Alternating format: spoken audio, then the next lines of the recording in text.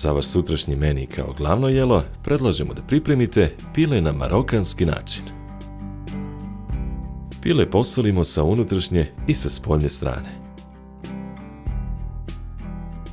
Zatim ga pobiberimo. Stavimo ga u vatrostalnu posudu. Prelivamo ga vodom i poprskamo uljem. Posudu stavimo u rednu.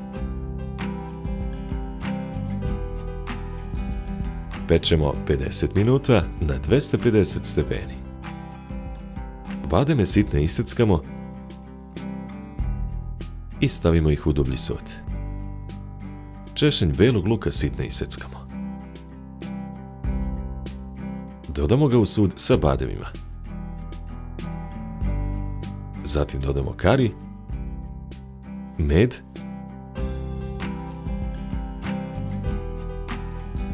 i 2 do 3 kašike vrele vode, pa promešamo.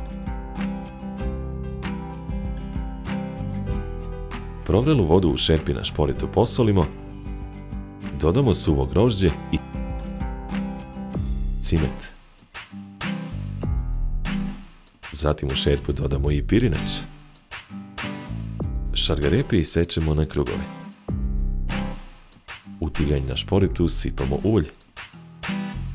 Na zagrijano ulje stavimo krugove šargarepa da se isprže. Posolimo. Pobiberimo. Dodamo i polovinu kašike šecera. U tiganj dodamo 300 ml vode i kuvamo dok šargarepe ne omekšaju. Vatrostalnu posudu izvadimo iz redne. Na ispečeno pile nanosimo smeso od meda i badema. Vratimo posudu u rednu. Pečemo još 10 minuta na istoj temperaturi.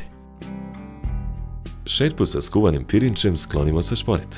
Sa šporeta sklonimo i tiganj, pa kuvane šargarepe preručimo u šerpu sa pirinčem i promešamo. Na tanjir za serviranje nanosimo pirinač. Na pirinač stavimo pile pripremljeno na marokanski način.